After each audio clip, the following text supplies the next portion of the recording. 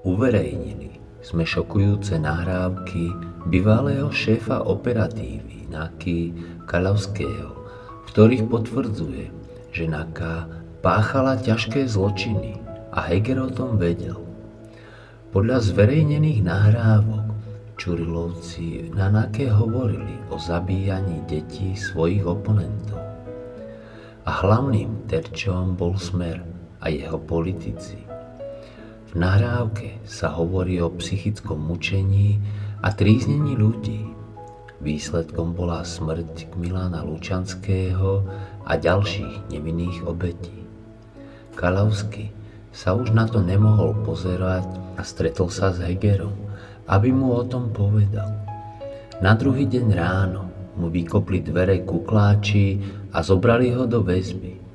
Heger O všetkých týchto svinstvách nielenže vedel, ale zjavne ich aj pomáhal ututľávať.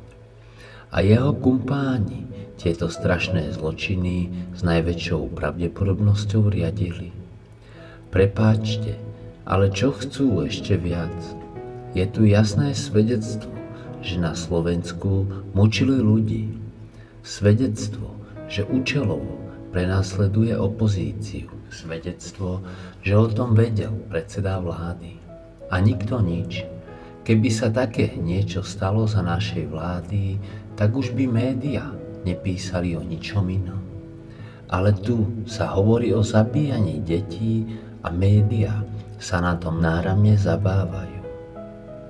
Prezidentka Čaputová ich dokonca verejne obhajuje. Jej bývalý poradca Kubina je ich advokátom. Kalavský potvrdil, že tu bol jasný pokyn urobiť Fica, Pellegriniho a Smer. A Heger o tom pri najmenšom vedel.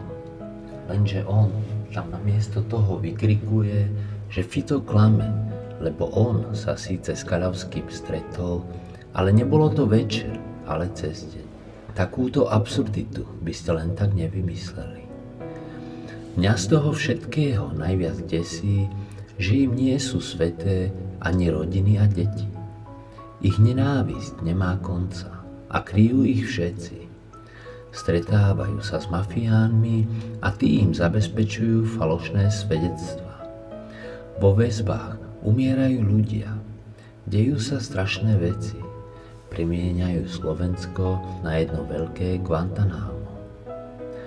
A prezidentka ktorá by ako prvá mala chrániť právny štát, celé toto obhajuje.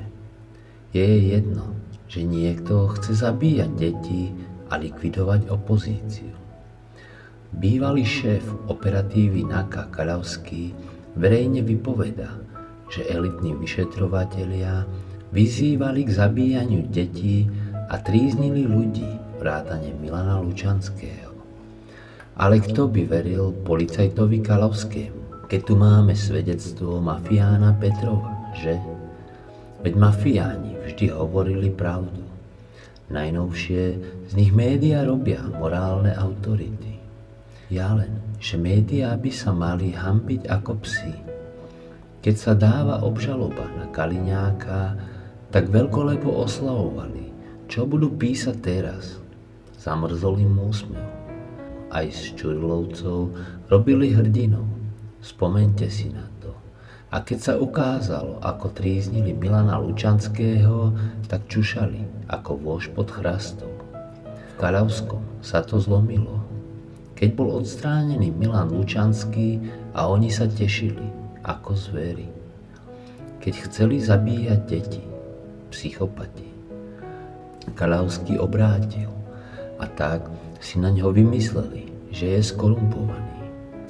Tí istí univerzálni svetkovia vypovedali, čo bolo treba a teraz sa bojí o život. V poslednom čase mnohí ľudia záhadne zomierajú. Po Kalavského vypovedi by mali do sekundy rozpustiť celú NAKU a zrušiť všetky politické obvinenia. Čurilovci sú bezpečnostné ohrozenie štátu a tí, čo ich ovládajú, patria na doživotie do basy. Áno, boja sa, ale ich čas príde. Všetko sa vyšetrí. A to by si mal dobre zapamätať každý policaj na Slovensku. Všetko vyjde na javu.